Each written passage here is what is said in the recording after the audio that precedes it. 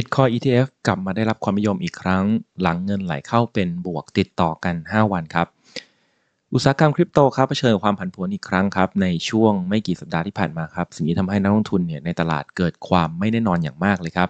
ส่งผลให้เกิดการไหลออกของเงินทุนจากอุตสาหกรรมคริปโตรวมถึง Bitcoin ETF นะครับ อย่างไรก็ตามครับต้นสัปดาห์ที่ผ่านมานะทำให้เกิดการพลิกฟื้นของผลิตภัณฑ์การลงทุนเหล่านี้ครับ โดยขณะนี้เนี่ยมีเงินทุนไหลเข้ามาเป็นบวกนะครับ จากกระแสเชิงบวกที่เริ่มต้นนะครับเมื่อต้นสัปดาห์นะครับ Bitcoin ETF ครับได้ดึงเงินไหลเข้าอีกหลายล้านดอลลาร์ครับตามข้อมูลจาก f a r s i d e Investor ครับโดยศุกร์ที่ 12 กรกฎาคมครับ IBIT ของ BlackRock ครับเป็นผู้นำเทรนด์ด้วยการไหลเข้าสูงสุดที่ 72.1 ล้านดอลลาร์ FBTC ของ Fidelity นะฮะติดตามอย่างใกล้ชิดครับด้วยการไหลเข้าทั้งหมดนะครับ 32.7 ล้านดอลลาร์ครับนอกจากนี้ครับ ทางกองทุน BITB ของ Bitwise แล้วก็ ARKB ของ ARK 21 หรือ 21st Shares นะครับ ก็มีเงินไหลเข้านะฮะเป็นบวกเช่นกันโดย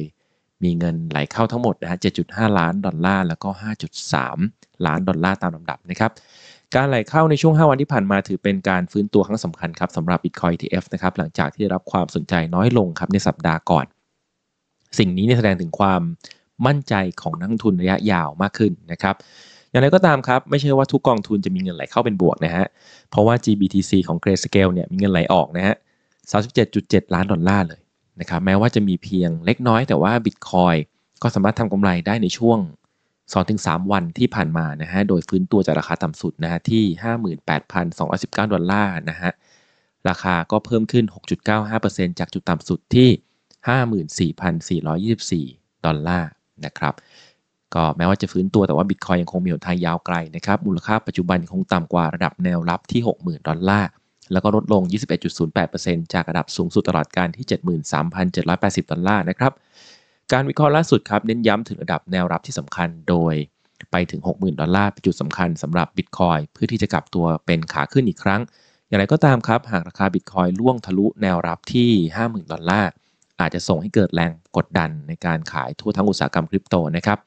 หากการไหลเข้าของกองทุน Bitcoin ETF ยังคงเป็นบวกไปเรื่อยๆครับ สิ่งนี้อาจช่วยผลักดันราคาของ Bitcoin ให้ขึ้นไปทำ all time high แล้วก็ส่งผลให้ตลาดคริปโตกลับมาเขียวได้อีกครั้งหนึ่งนะครับ ก็นี่เป็นข่าวคราวเกี่ยวเรื่องของกองทุน Bitcoin ETF นะครับ โดยส่วนตัวแล้วผมผมเชื่อว่ากองทุน ETF เนี่ยถึงแม้ว่าเป็นความสนใจของกองทุนที่เป็นนักทุนสถาบันนะครับ แต่ว่า ผมว่าผมรู้สึกนะว่ามันยังมีผลต่อตลาดจริง ๆ ของตัวบิตคอยเนี่ยไม่ขนาดนั้นนะครับ เพราะว่ากองทุนเองเนี่ยคนที่เข้ามาซื้อไม่ได้ถือบิตคอยเองจริงๆนะครับเป็นตัวกองทุนในจัดการแทน ผมก็เลยมองว่าการถือครองจริงๆนะจะเป็นอะไรที่แน่นอนกว่า แล้วก็ทำมันแสดงออกถึงว่าคนที่ถือระยะยาวเนี่ยมีความเข้าใจในบิตคอยมากขึ้นมากกว่านะครับ ฉะนั้นข่าวนี้อย่างน้อยก็เป็นข่าวดีครับ อย่างน้อยถ้านักทุนสถาบันสนใจมากขึ้น และมีการ เข้ามาเพิ่มกองทุนมากขึ้น มันก็แปลว่าจะมีการถือครองบิตคอยมากขึ้นได้นั่นเองในอนาคตนะครับ แต่ผมยังคิดว่ามันไม่มีผลอะไรต่อการทำออทำไฮในในครั้งถัดไปขนาดนั้นนะครับ อันนี้ความเห็นส่วนตัวนะฮะ ใครคิดอย่างไรก็แล้วแต่นะครับ แต่ว่าสำหรับผมผมมองว่าการถือเอง ถือยาวๆ อันนี้เป็นสิ่งที่น่าสนใจที่สุดและดีที่สุดนะครับสำหรับทุกคนนะฮะดูแลของตัวเองดีกว่า นะครับฝากติดตาม Bitcoin Crazy ด้วยนะฮะบ้ากันสุดเรื่องของ Bitcoin ครับ ทุกวัน8โมงเช้าตามเวลาประเทศไทยครับ ที่นี่ Thai Town Channel คอนเทนต์ดีๆเพื่อคนไทยทั่วโลกครับ เพราะทุกที่มีคนไทย คุณสามารถติดตามช่องนี้ครับ ทุกคอนเทนต์ของเรานะมีเยอะมากมายเลยนะกด Subscribe นะฮะแล้วก็กดไลค์กดแชร์ส่งต่อคลิปที่คุณชอบให้กับเพื่อนด้วย เติมกำลังใจให้กันครับผ่านทาง True Money Wallet ที่ให้ไว้ด้านข้างนี้นะเป็น QR code ก็สแกนได้เลยนะครับหรือว่าเลื่อนไปใต้คลิปจะมีลิงก์นะฮะที่เป็น wallet address นะครับผมให้เวลาเป็น address นะ copy ไปได้เลย ก็มีทั้ง bitcoin แล้วก็มี bitcoin lightning ด้วยนะครับ อยากให้เป็นอะไรก็ตามใจเลยนะครับ ส่วนใครอยากเทรดคริปโตเคอเรนซีนะครับ ไม่รู้ใช้บริการเจ้าไหนดี ผมแนะนำนะฮะ ใช้บริการ Bybit นะครับ เพราะว่า